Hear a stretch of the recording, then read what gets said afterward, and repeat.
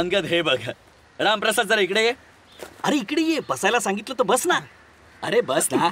तू पण ना असा आहेस ना. इतका ढिला. बऱ्याच दिवसांपासून इच्छा होती की हा खरेदी करावा म्हणून.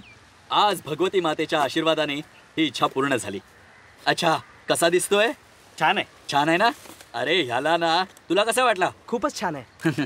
अच्छा सांगा मी ह्याला कशाला घेतलंय? गाणी ऐकायला. टाइम काय झाला टाइम? अकरा. ऐका हॅलो जी मी आहे अनुराग पांडे तुमच्यासाठी घेऊन आलो आहे. हे आहेत आपले अनुराग भाऊ. काय छान आवाज आहे. या जमते अनुराग मस्त आवाज. महफिल. ऐक ऐक ऐक. आणि आपण इथे ऐकू काय बोलतोय मजेदार हा माणूस? असं वाटतं फूल बरसतात होतात फूल रोज सकाळी. ह्या वेळेला हा प्रोग्राम असतो. ऐक ऐक. अच्छा तू फोन दे बघू बघ मी यांच्याशी बोलतो. खूप वेळा बोललोय मी यांच्याशी. वर एकशे चार एफ एम वर मी आहे तुमच्यासोबत अनुराग पांडे. आणि पाहूया आता कोण कॉल करताय? हॅलो? हा अनुराग भाऊ.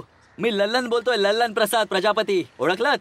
अरे ललनजी कशा आहात आपण? अनुराग भाऊ आज मी टेप घेऊन आलोय नवीन. अरे क्या बात है. खूपच चांगलं केलंस मित्रा खूपच. आधी छोटा होता ना जुना तर तीन चार स्टेशन एकत्र लागायची. हा झकास नवीन घेऊन आलोय मी. आणि कसं काय? गावी वगैरे जाऊन आलात? नाही मी अजून ती ऍप्लिकेशन देऊन ठेवली आहे मी. फारच चांगलं. आमची तर इच्छा आहे की तुमचं अप्लिकेशन मंजूर व्हावं. तुम्ही जरूर गावी जा लिंबाच्या सावलीत बसा विहिरीचं थंड पाणी प्या आणि आनंद घ्या. आणि हो कोणतं गाणं ऐकणार तुम्ही? तुम्ही रामतेरी गंगा मैलीच लावून टाका. एक थी राधा एक थी मीरा. अरे क्या बात है. चला तर तुम्हाला ऐकूया हे गाणं. एक फिवर एकशे चार एफ एम वर. बरं आहे तुझे सगळे पेपर झाले. आणि खूप चांगले झाले. फार चांगलं झालं. तू खुश आहेस ना?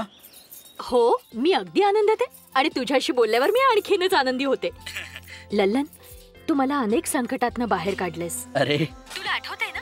जेव्हा स्पोर्ट्स टुर्नामेंटमध्ये मी शंभर मीटर शर्यतीत भाग घेतला होता. आणि मी नुकतीच आजारातून उठले होते तू. म्हणालास की मी जरूर जिंकेन आणि तसंच झालं होतं.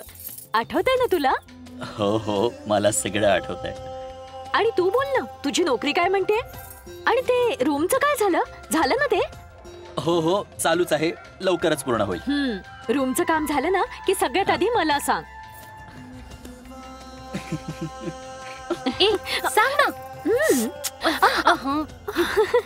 अच्छा तिथे थंडीला तर सुरुवात झाली असेल ना? हो झालीये.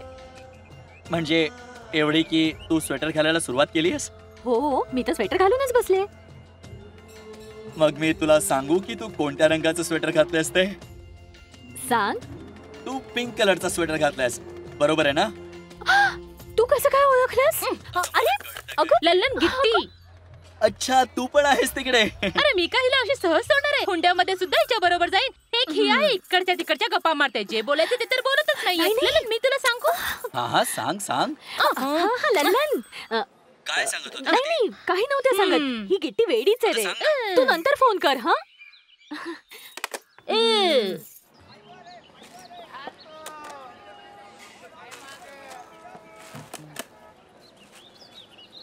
हंसाबेन किती झाले? अरे पैशाचे जाऊ दे रे. अं, तुझ्याकडे वेळ आहे ना? घाईत तर नाहीयेस ना? नाही असं तर काहीच नाही मग मग ये ना. बस बस बस. ये ये ये ये. बरं येते. हा हंसाबेन बोला. ये ये ये. बस बस बस. आता लाडू खा. पण हा लाडू? अरे बाबा दुकानातला नाहीये. पैसे नाही द्यायचे. तुझ्यासाठी घरून बनवून आणलेत. पण मी नाश्ता करून आलो आहे अच्छा? काही हरकत नाही. लंच मध्ये खा हा? घेऊन जा बरोबर हा? बरं ठीक आहे चालेल. अच्छा तू सिगरेट ओढत नाहीस हे तर तू मला सांगितलंस. हो. पण दारू तर प्यायलाच असशील ना? हा? यार दोस्तांबरोबर बसून हा? नाही आजपर्यंत जरूर नाही आता पडली. लोक दारू काय गरज म्हणून थोडंच पितात? ते तर मजा म्हणून पितात हा.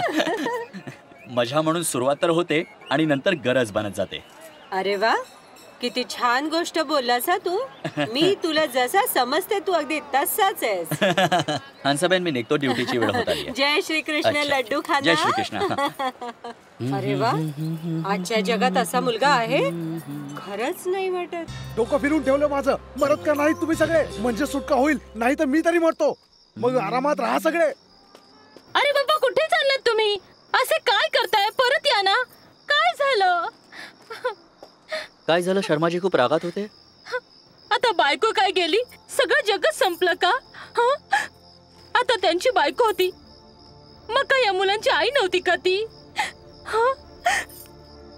यांचा चेहरा पाहावा. यांचं दुखणं खुपणं बापासारखं समजून घ्यावं. कसे बाप आहेत शर्माजी? ही तर एकदम चुकीची गोष्ट आहे. बेटा तुम्ही चिंता नका करू. मी काहीतरी करतो.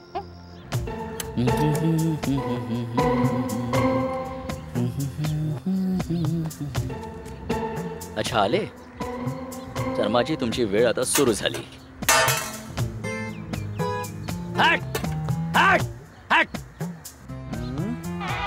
बघू नका इकडे! तोर तो तो तोर तो तो तो तो तो. तो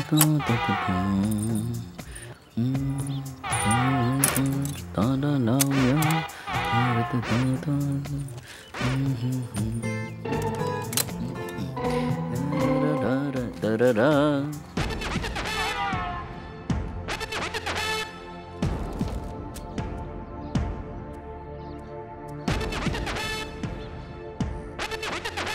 सर रात्री एक विचित्र स्वप्न बघितलं. असं? तेच विचार करतोय की त्याचा अर्थ कळत नाहीये. काय स्वप्न काय पाहिलंस? स्वप्न असं आहे की एक नारंगीचा बगीचा आहे. आणि मी त्यात फिरतो आहे. तेवढ्यात माझी नजर एका सुंदर नारंगीवर पडते. मग एका बेचकीने मी त्या नारंगीला खाली पाडतो. खाली बघतो तर त्या नारंगीच्या ऐवजी दोन आंबे पडले आहेत. आता नारंगीच्या झाडाखाली हे दोन आंबे कुठून आले? आणि मी जी नारंगी पाडली होती ती कुठे गेली? लल्लन स्वप्न तर फारच विचित्र आहे तुझं. नारंगी वरून पडली खाली आंबे पडले. हॅलो हो हो पाठवा पाठवा. माझ्या मते लल्लन बोला. आजचा दिवस तू जरा सावध राहायला हवंस. बर. कुणाशीही पैशाची बिशाची देवाणघेवाण करू नकोस. ठीक आहे. कुठूनही काही खरेदी वगैरे करायला जाऊ नकोस. ओके. नाहीतर शक्य आहे की आज कोणीतरी तुला ओके, ठकवेल. अरे चादर घ्या चादर. अरे चादर घ्या चादर.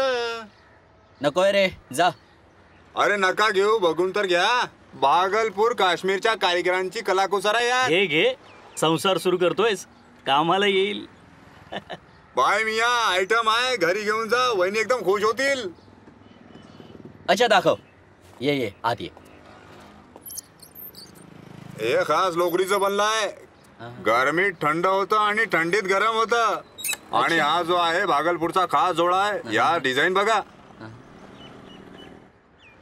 ही. कशी अरे? हे तुमच्या कामाचं नाहीये. याला सोडा. मी जे दाखवतो ते बघा. कामाचं नाही म्हणजे? म्हणजे हे की हे चार हजाराची जोडी आहे. ते तुमच्या ऐपतीच्या बाहेर आहे. जे मी दाखवतो ते बघा. हे सातशे रुपयाची जोडी अरे आहे यार तू फक्त हे सांग की हा कितीला देशील? मोल भाव करायचा काही फायदा नाही आहे हे तुमच्या आवाक्याच्या बाहेर आहे. उगाच काहीतरी बरवतोस यार तू. अरे जाऊ द्या. तिथे जाऊन बसा. उगाच तुमच्याशी हुज्जत घालण्यात माझं नुकसान होईल. अरे यार काय माणूस आहेस तू? फालतूची बकवास करतोस तू माझ्याशी? काय फालतू बकवास करतोय हा? हा. हे घ्या. हा चार हजाराचा धंदा. चाळीस हजारचा माल चार हजारमध्ये दिला? या रस्त्यावर मी जे फेऱ्या मारतोय यावरून माझ्या लायकीबद्दल चुकीचा समज करून घेऊ नका. मोगलाई खानदानाचा आहे. द्या चार अरे यार तू ना. अरे लल्लन भाऊ अरे मला तू सोड मला. एक. मिनिट एक मिनिट काही खरेदी वगैरे करायला जाऊ नकोस. नाहीतर शक्य आहे की आज कोणीतरी तुला बरं बरं. चला चला. आम्हाला घ्यायचंच नाही. आमची तर लायकीच नाही हो हो, हो, चल, चल, काय झालं? काय? अरे चल, मान ना चल, तुम्ही खूप मोठ्या घराण्याचे तोफा. मला नाही चल, घ्यायचंय. चल चल चल. मी सांगतो बाहेर? हो अरे चल. तू काय चादरी अरे, घेणार? जा रे बाबा. मला रुबाब चल, दाखवतोय, चल बाहेर? चल. कुठून कुठून येतात ही माणसं? बरं झालं हक्कल्लात. परवा बॅरम बागेत अशीच कोणाला चादर विकून गेला होता. चादर पाण्यात घाला बाहेर काढा तर गोंडपाट निघतो.